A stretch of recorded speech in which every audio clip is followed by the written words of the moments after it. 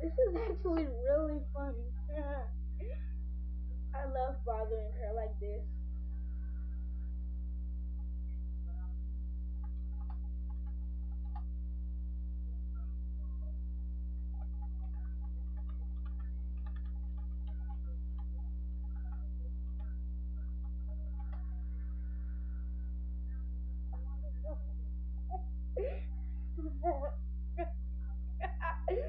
oh my goodness.